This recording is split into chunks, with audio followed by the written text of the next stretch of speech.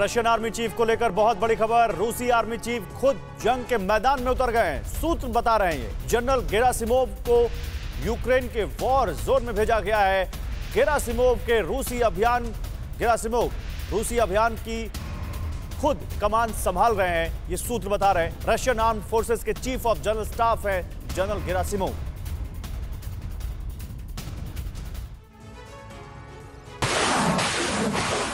Ukraine और रूस में जारी जंग को आज छियासठ दिन पूरे हो गए हैं। बीते दो महीने से जारी इस महायुद्ध ने यूक्रेन को बर्बाद कर दिया है। शहर का जर्रा जर्रा तबाह हो गया है। एक और फौजी मारे जा रहे हैं तो दूसरी ओर आम नागरिक भी जंग की बलि चढ़ रहे हैं। खंडर हो चुके शहरों में जो कुछ बचा हुआ है, वो युद्ध की लपटों में सुहा होता जा रहा है। बावजूद इसके, रूस के मंसूबे पूरे नहीं हो पाए हैं। राजधानी पर कब्जे का रूसी सपना पूरा नहीं हो सकता है। इस बीच खबर है कि पुतिन ने यूक्रेन के खिलाफ जारी जंग में रूसी आर्मी चीफ को मैदान में उतार दिया है। सूत्रों के हवाले से खबर है कि general Gerasimov battle of ground में रूसी अभियान की कमान खुद संभाल रहे हैं।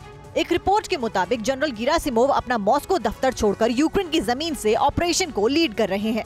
जनरल गिरासिमोव नवंबर 2012 से रशियन आर्म्ड फोर्सेस के चीफ ऑफ़ जनरल स्टाफ हैं। व्लादिमीर पुतिन किसी भी सूरत में 9 मई से पहले कोई निर्णायक परिणाम चाहते हैं। किसी देश के सबसे वरिष्ठ सैन्य अधिकारी का इस तरह कमान संभालना असामान्य बात है।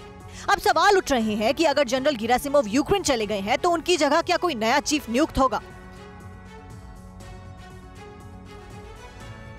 अड़ी, सोमवार से शुक्रवार शाम छह बजे, सिर्फ़ टीवी नाइन भारतवर्ष पर।